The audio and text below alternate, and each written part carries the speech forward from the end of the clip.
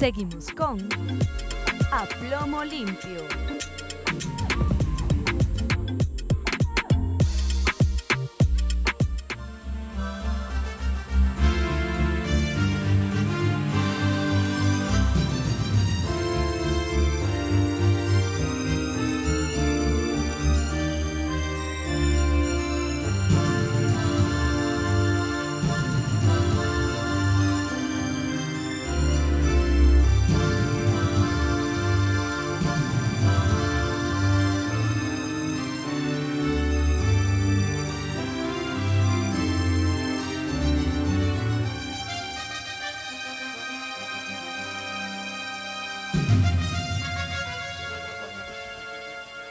Ya estamos de regreso ya en Aplomo Limpio. Recuerden que este programa informativo y de opinión se transmite por Falconía, Canal 6 de Intercable, de lunes a viernes desde las 8 hasta las 9 de la mañana. Jaime González, dirigente de Primera Justicia en Carubana, es nuestro eh, invitado en la mañana de hoy. Llegan algunas preguntas. Eh, están formulando la siguiente apreciación, que si ustedes están entonces promocionando, incentivando a los jóvenes, no obstante que se inscriban Adicionalmente, yo le agrego a eso de que efectivamente en el cronograma anunciado por el Consejo Nacional Electoral se anuncia entonces la apertura del registro para nuevos votantes. Y ahí sí hay que trabajar porque por allí aseguran unas estadísticas de que son cerca de 3 millones de jóvenes. Ustedes, Primera Justicia, Acción Democrática y otros partidos políticos desde el año pasado están haciendo un trabajo importante. Creo que llevaban gente a coro que era la única sede abierta en todo el estado de Falcón, porque ese era el registro electoral permanente. Pero ahora hay una jornada especial motivada por las elecciones del próximo 28 de julio. Eh, ¿Maneja usted esa información para difundirla, este Caldoncito, en el sentido donde, en el caso de, de Carirubana, dónde son los centros entonces donde pueden eh, los jóvenes acudir y inscribirse en el registro electoral permanente? Jornada especial de registro electoral. Inicio el lunes 18 de marzo y el cierre... Ese es próximo lunes.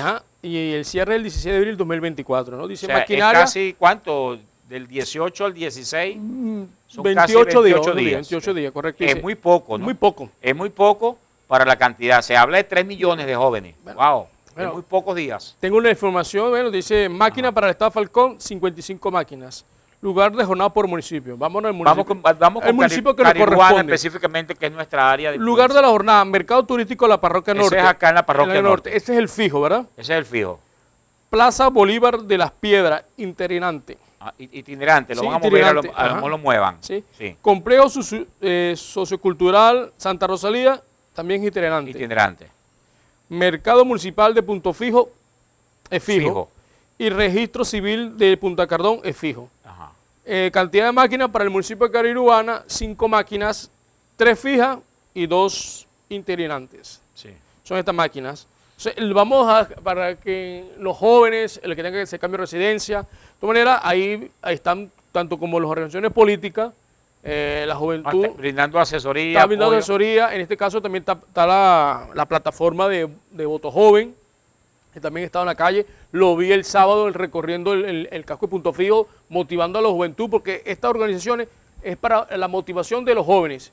Una plataforma que está haciendo ese trabajo invitando a la participación de los jóvenes. Pero como está esa plataforma, también están en, el caso de nuestro partido, la coordinación electoral y la parte de la Secretaría Juvenil, invitando a participar a estos jóvenes. Bueno, los puntos fijos son Mercado Turístico, Mercado Turístico de la Parroquia Norte, eh, mercado municipal. El mercado municipal y el registro civil, de, Punta, Cardón. Son los tres fijos. entonces me imagino si usted lo ve por ubicación, es norte, centro y sur de Punta Exactamente. y qué bueno que estos itinerantes estén en áreas populares como Las Piedras y Santa, Rosalía. Exactamente. Imagino que estos dos también irán, irán a, otros a la parroquia Santana, que, que, que, que es... Exacto, entonces, eh, una de las sugerencias que vamos a hacer es que coloquen una máquina adicional para la parroquia Santana también que...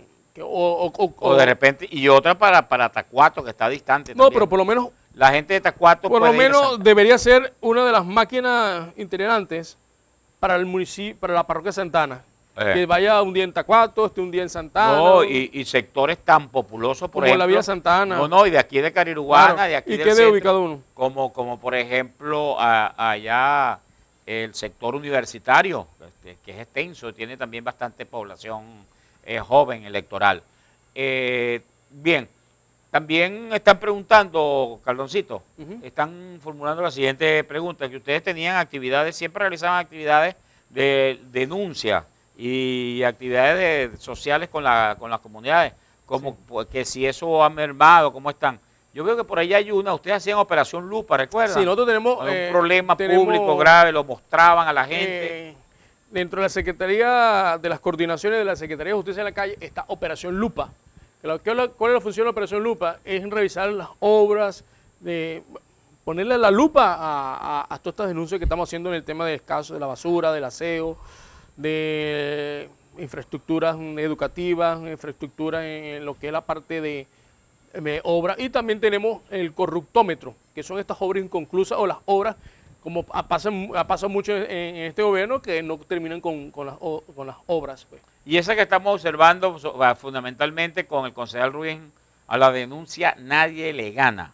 Exactamente. ¿Ese es de ustedes también? Eh, no, eh, exactamente, eso es, eso es Operación Lupa, pero la está, eh, la está haciendo el concejal Jorge Luis Ruiz como concejal del municipio de Carubana. Fíjate, ha hecho tanta denuncia que hace falta un poco más de solidaridad por parte de, de las otras organizaciones políticas. Yo En lo he este dicho aquí. Sí, Eh, sí. Manon ha hecho unas denuncias importantes, las dos Que no- últimas. que no- Cuando Manon denunció que se detuvo la, La que parte la, de la- pa- la de- privatización del Imaceo, y hizo una denuncia quizás tan gra- más grave que esa, es el cobro de a, a- a muchos empresarios y comerciantes de 60 dólares y adicionado ahí, no sé si el recibo de energía eléctrica, Corpolé, y eso nadie ha aclarado esa situación. Entonces yo veía y lo dije aquí y lo reitero, es que falta de apoyo en esa denuncia, por ejemplo, de otros, otros sectores de la oposición, porque la denuncia Manón, pero después eso no recibe apoyo, ni, ni se sigue insistiendo para que esto llegue de verdad a las autoridades y, y- y que se muestre Martín, también que eso pudiera ser, un, eh, pudiera ser un hecho irregular. Lo importante es la defensa al ciudadano. Es la defensa y formular la denuncia tanto por la vía pública para que se entere el otro ciudadano y por la vía legal ante los, los institutos competentes, el tribunal, la Contraloría. Eh, se ha venido realizando una serie de denuncias, en este caso concejal Ruiz con la Operación Lupa, y ahí van, va viendo el resultado. Una quizás la más escandalosa de todas fue el caso del, de- del Instituto Municipal de Seguridad Urbano. Sí. Yo veía con... No, lo, veía con interés, que mucha gente anda diciendo por ahí de que hay algunas organizaciones políticas que no están haciendo el trabajo, que no están trabajando como es en favor de la candidata María Corina Machado, que fue la que ganó las elecciones primarias, pues. Y se señalaba y decían con nombre y apellido que Ramos Alú no está trabajando allí. Y los nombraban a casi todos y, y se veía que había pocos, pocos, pocas organizaciones políticas de las más importantes. Y decían que en Primero Justicia el único que viene apoyando el apoyo es el, eh, el señor Guanipa. Guanipa, el que, que el dirigente de Zuliano, que quedó, que una Yo- vez ganó la gobernación Sí. legal y ampliamente, y bueno, por no juramentarse ante un organismo que se consideraba irrito como era la Asamblea Marte, yo creo que, Nacional eh, Constituyente, mira, pero mira. sí vemos que está activo en las Yo voy a, a la defensa primero de los militantes y simpatizantes de Primero Justicia. Den- Sí. Dentro de Primero Justicia, todos, Ustedes están haciendo todos ustedes están haciendo el trabajo adecuado para la estamos candidatura haciendo de el trabajo. Está María Beatriz, nuestra, nuestra, nuestra presidente nacional, está eh, Juan Pablo Guanipa, eh, que es el que está recorriendo el país. Cada, cada uno dentro del partido está haciendo sus funciones a lo interno y a lo externo, haciendo acompañamiento. Cuando están en, en Lara, está nuestro presidente en Lara. Eh, este caso es mm, Alfonso Marquina, en el Zulia, está cuando va el que está en el Zulia Juan Pablo, lo acompaña Tomás. Y sé, y tengo la plena seguridad que todos los partidos lo están haciendo. ¿Por qué? Porque María Corina tenía la legitimidad y nadie está jugando para atrás de, los, de las elecciones políticas. Sé que lo está haciendo quizás, quizás.